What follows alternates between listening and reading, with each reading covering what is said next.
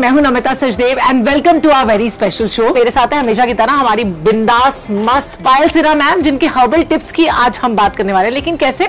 वो एक सरप्राइज़ है। मैम वेलकम टू आज कैसे थैंक यू मस्त। होगा आज बहुत सारा फन होगा और साथ में काम भी होगा। तो मैं आपको कुछ herbs smell करवाऊँगी। It's a smelling game and telling और उसका एक बेनिफिट बताना है साथ में उसका एक नुस्खा बताना है हमारे viewers starting with the most powerful herb ये आपके हाथ में आ गया ये। सुनिए।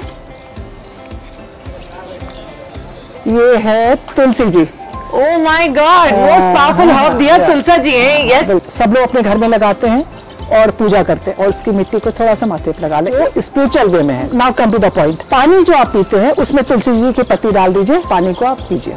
इट्स गुड फॉर स्किन इसको जब आप किसी और लीव्स में लाइक पुदीना या नीम दोनों में आप मिक्स कर देते हैं और इसका एक गोला सा बना लेते हैं। और उस गोले को आप किसी भी स्पॉट पे जो फ्रेकल्स हो चाहे डिस्कलरेशन हो कहीं पर भी हो उसको अगर आप चिपका देते हैं हाँ। यानी कि तुलसी की पत्ती को ऐसे ऐसे पीसा और या तो चंदन का पाउडर डाल दिया और या मुल्तानी मिट्टी डाल दी थिक पेस्ट बना के उस जगह पे रख देते हैं एक घंटे के लिए एंड फील द डिफरेंस मतलब एक्ने हो जाए तो ऐसा करना है। Yes is good for all type of discoloration तो मैम अभी फिर से आँखें बंद करनी है आप बताएँगे क्या है।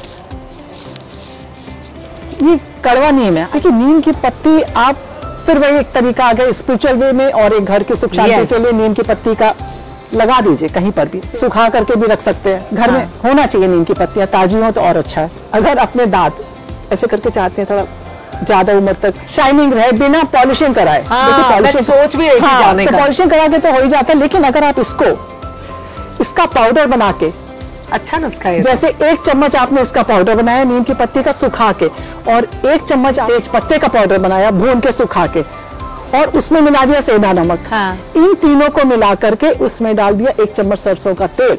इट वर्क्स लाइक पॉलिश आप अपने दांतों पे ऐसे करके रख जलेगा तो दीजिए। नहीं ये हर्बल तो ऑलवेज सेफ़ ब्रश करने के बाद इसको ऐसे ऐसे करके धीरे धीरे करिए तो आपके दांतों में चमक आएगी। It's work like wonder for pimples इसको एक कप पानी में उबाल लिया जब पानी आधा रह गया इसको स्प्रे बॉटल में डाल लीजिए और आधा चम्मच इसमें कपूर डाल दीजिए। हाँ। एक चम्मच इसमें गुलाब जल डाल दीजिए। अब ये स्प्रे बॉटल आपकी फ्रिज में रखिए। देखिए आप ऐसे कर दीजिए पूरे फेस पे। It acts as a toner yes लगा दीजिए फिर भूल जाइए। थोड़ा सा हल्का सा ग्रीनिश रहेगा चेहरा। एंड स्लोली आप फील करेंगे कि चेहरे के जो पिंपल्स हैं वो धीरे धीरे कम हो रहा है। अभी नेक्स्ट की तरफ़ बढ़ते हैं। हम आपको यूँ स्मेल कराएँगे। ओह खा ही लिया इन्होंने। पकड़ो ये है मैं भी खा सकती हूँ। करी पत्ता। यस इट इज़ करी पत्ता। This is not for face only for hairs कोई भी तेल बना रहे हैं आप हर्बल ऑयल बना रहे हैं एक मुट्ठी डाल दीजिए। धीमी आँच पे पकने दीजिए छान लीजिए आपका एक हर्बल ऑयल तैयार हो। करी पत्ता का दूसरा यूज़ क्या है? एक हमारा हर्बल सिरप उस सिरप में अगर आपके डेंड्रफ है तो हम सिरप के अंदर करी पत्ता डाल दीजिए और उबलने दीजिए।